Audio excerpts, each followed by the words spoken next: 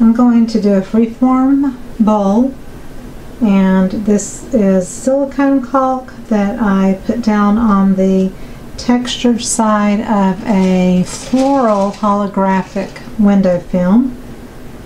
And uh, so it's the textured side up so it'll leave an imprint on the bottom of the resin and this is waterproof silicone for kitchen and bath and I used a caulking gun and put it out last night and let it dry so it is set up and rubbery and that'll be my dam or barrier to keep the resin from going outside. I've got at least 10 or 12 ounces of resin so I'm just going to pour a clear coat and this is counterculture medium viscosity artist resin equal parts A and B. I don't want it super super thick so again that's probably about 12 ounces. I'm just kind of pushing it towards the barrier. I just didn't want a perfect circle so that's why I made it this kind of wonky shape. Got this on a MDF Lazy Susan but it's great for a surface you know to hold my you need to tape your vinyl plastic down so it doesn't pull up you know and scrunch up on you and you have wrinkles. And then I've got some uh, a couple ounces of just little ice crystal looking acrylic stuff. So I'm just going to go around.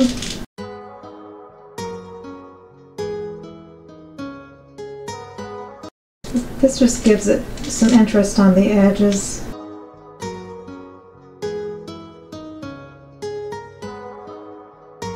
I want all of the crystals in the resin also so that um, they stay and don't fall out eventually. So that resin will hold them in like glue.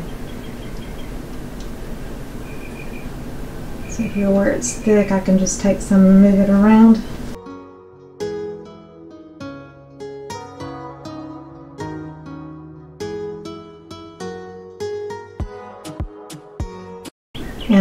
I'm leaving this clear because with any kind of holographic film you get better results as far as a prismatic holographic look when you don't add color as much to the resin so that's why I'm using clear.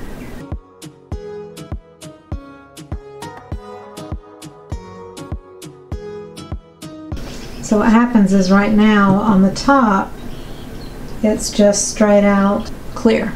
But when you pull it off of the film, that prismatic effect from the bottom will come through on the other side and I'll show you what I mean when I get to that point.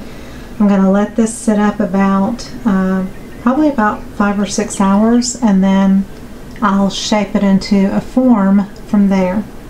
So I will be back later. Okay, I'm trying to, I warmed it up a little bit, but I'm not going to touch the resin because it's still a little bit tacky, but it's pliable. So I'm trying to get it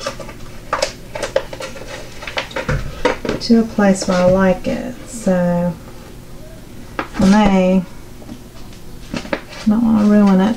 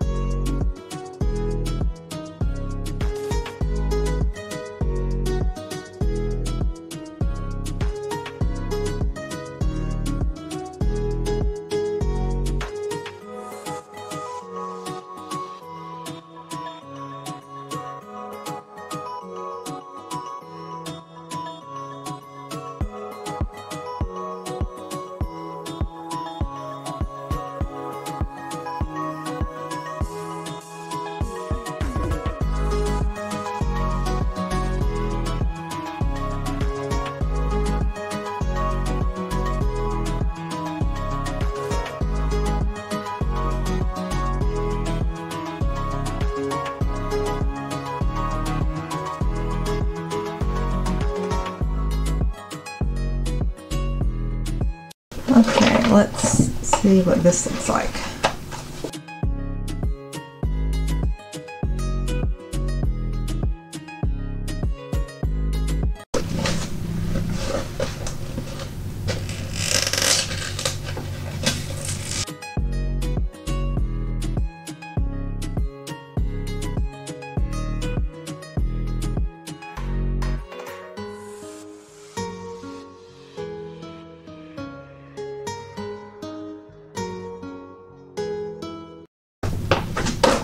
Okay, so I wanted to show you first the window film. This is the texture side, this is the shiny side. So you always pour against the textured side. Now I can take a heat gun and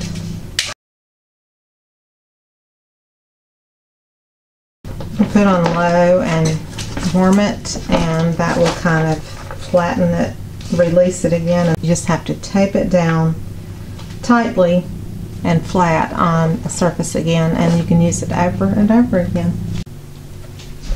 And so here is the bowl.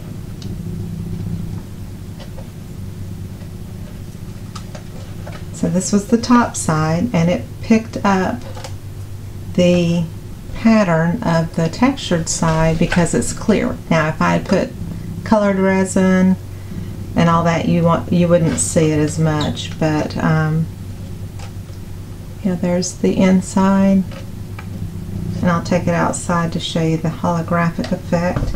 And so it's kind of a wonky bowl it sits low here and higher here and that's totally okay. I've even thought about painting it on the reverse side, but I don't think I am. I think I'm just going to leave it clear. And then all the little crystals around the edge. You can totally leave the edge as is, or you can, you know, paint it with a silver or gold paint pen. That's up to you. So here's the finished bowl, and I hope you learned something from this video. And uh, on experimenting and creating and making beauty and I'll see you on the next video. Love you so much. Bye bye.